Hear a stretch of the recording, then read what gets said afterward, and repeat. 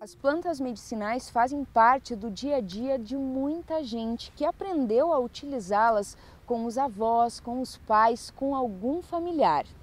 É o caso da Maria Beatriz, uma vida que se movimenta a partir de um trabalho coletivo e regional. Quando nós começamos o trabalho, os postos de saúde, principalmente no interior, eh, tinham uns remédios lá, muito poucos. Quando nós falávamos naquela época sobre plantas medicinais, de uso de plantas medicinais para seu tratamento, parecia um crime. Hoje, nós já temos portarias, nós já temos leis, nós já temos o pessoal. Nós nos focamos principalmente nas causas geradoras de doenças e quais são as alternativas que nós buscamos.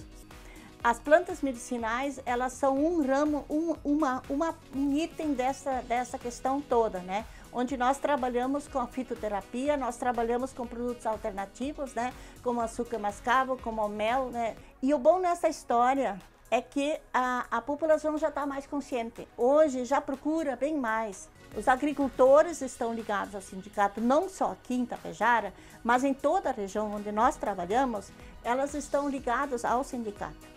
Elas têm uma estrutura do sindicato. Nós precisamos resgatar o saber popular, sim. Né? Nós queremos continuar fazendo isso, ouvir as pessoas que têm conhecimento disso. Mas nós precisamos que a, a, a, as nossas instituições formadoras de saberes né, possam fazer essa pesquisa lá e levar de volta para o povo para que eles saibam o que eles estão usando e não vender para o laboratório. Nós precisamos bem mais do que só isso. Né? Nós precisamos também que nós tenhamos profissionais que receitam isso que nós temos lá nos postos de saúde.